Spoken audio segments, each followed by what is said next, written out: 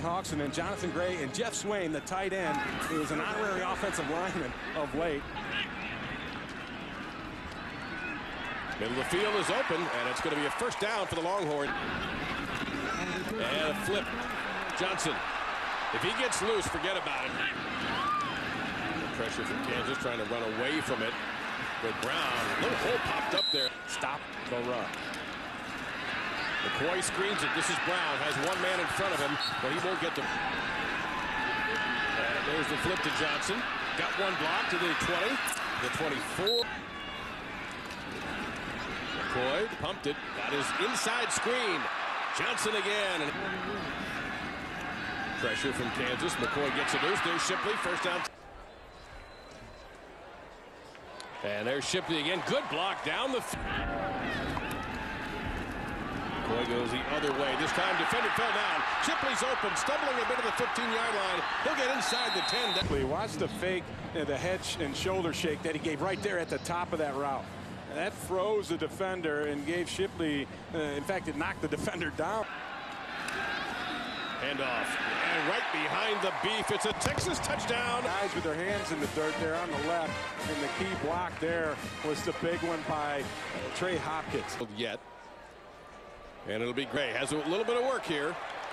To the 50. Kicked it to him and gave Gray the chance. And Gray, big hole. Gray up the middle, first down, and maybe more. Gets behind. Watch Mason Walters get the linebacker here and push Heeney right out of the hole. There he is. Bam. That opens it up. A nice double team down on the nose there. That's good blocking. But instead, a little forward pitch to Johnson. This time, Kansas. Oh! Kansas. Out of the backfield. Straight up the middle. Swaim 82 with the play follow him. Flag is down. For right here.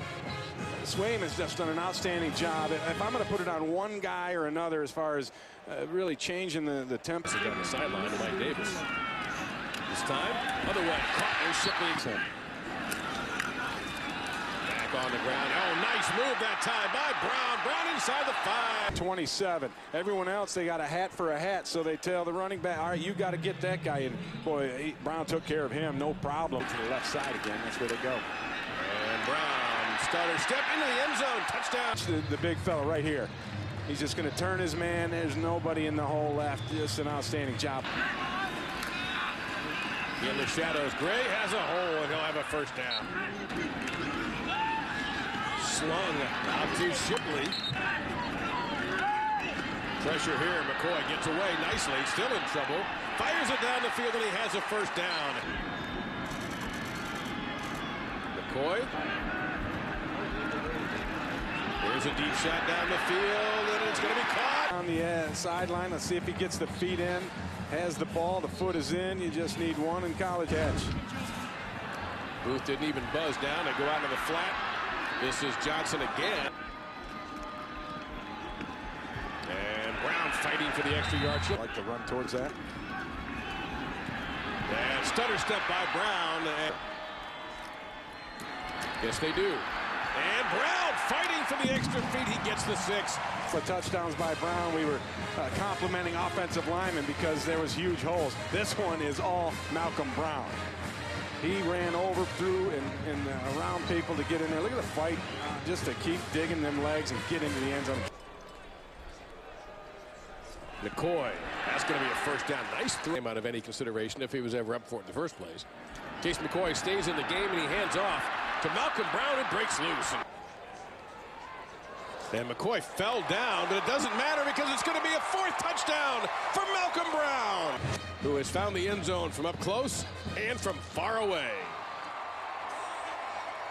Briefly shaken up today. Not enough to knock him out of the ball game, but he took a vicious shot while throwing a pass. Bergeron gets outside and gets knocked. So McCoy will get that first win in a start in this building. As Swoopes, you can hear the crowd getting jacked up as Swoopes continues to move the pile. And there's uh, some evidence. No doubt about that. Here he is, that first one. I'll tell you, it was all about the offensive line there. But here's Brown making a man, missing the hole, and then running, getting it down inside. He'll finish it off himself as he pounds another one in the end zone in this last one. This is vintage Malcolm Brown. Who has found the end zone from up close and from far away. In the backfield for Kansas. This will be Sims.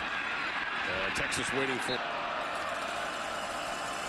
And a little flip to Brandon Bourbon. Right now. Straight ahead, nothing. And they'll go to him. Flag is down. Now there's Cozart, and he'll pitch it on the old-fashioned option to Bourbon. That does. Heaps under pressure, guns it. Have a one-on-one on the outside, and he just beats his man and then brings it home hard. And